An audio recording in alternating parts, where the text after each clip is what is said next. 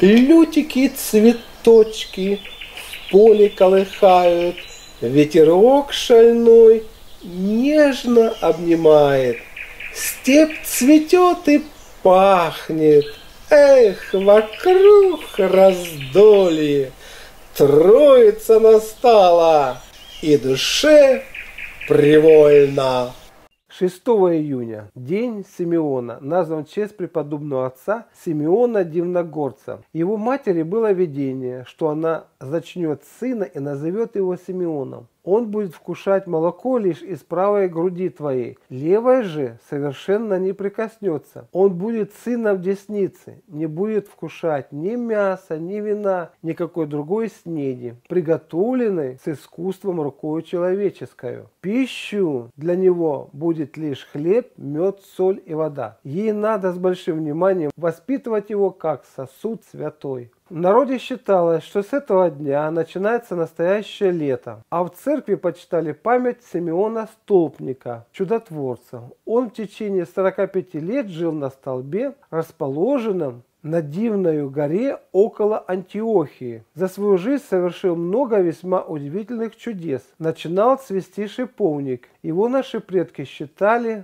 символом красоты и молодости а также олицетворением настоящей любви. К нему ходили, чтобы успокоить душу и избавиться от печальных мыслей. Для того, чтобы дети побыстрее избавлялись от разного рода страхов, поступали следующим образом. Как только расцветал шиповник, старушки усаживались под ним вместе с внуками и рассказывали им сказки. Ценили шиповник из-за его целебные свойства. С его помощью лечили раны и простуду, чистили кровь. С помощью отвара корней шиповника дробили почечные камушки. Старались пить вкусный и полезный чай из его плодов. Молодые девушки умывались водой, которая была настояна на шиповнике, чтобы сохранить здоровье и привлекательность. Приметы. Если идет дождь сегодня, будет много грибов. Если сегодня цвет шиповника пахнет сильнее, чем обычно, надо ждать дождя.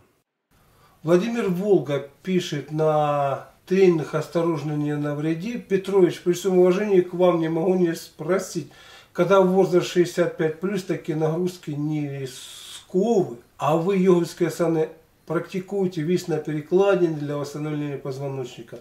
Вы знаете, я все это делал. И весь на перекладине, и йоговские асаны. И это как-то, конечно, влияло на позвоночник – но это не вело к его коренной перестройке и восстановлению. То есть есть методы, которые, как бы сказать, вот, знаете, сиюмоментно действуют, и вроде ты чувствуешь облегчение и все. А на завтра то же самое. Спина клинит и так далее, ты опять висишь, йоговские асаны там делаешь, а потом опять, опять, опять, опять. Было это все.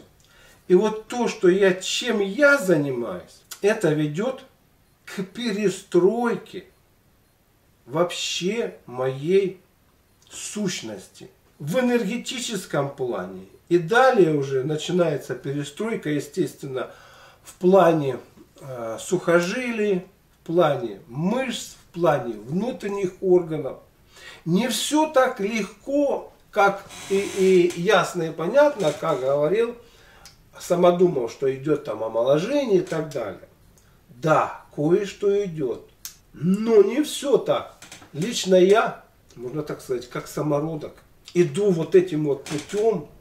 Никто мне особо не подсказывает. Я все это сам делаю, наблюдаю, рассуждаю. И не все так гладко, еще раз скажу. Но тем не менее, дело-то идет. И очень интересно идет.